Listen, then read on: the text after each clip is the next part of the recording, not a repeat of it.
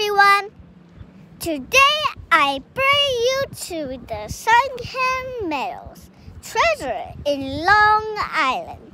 This is a great adventure. Has three parts. One, long boardwalk, blue ocean, white seagulls. Today is a beautiful day. Two, white sunny beach and seas.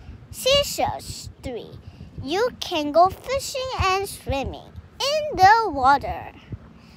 One thing, trees' leaves are green today. It will turn orange and yellow soon. Come and check it out. Subscribe below and see you next time. Stay safe, K News!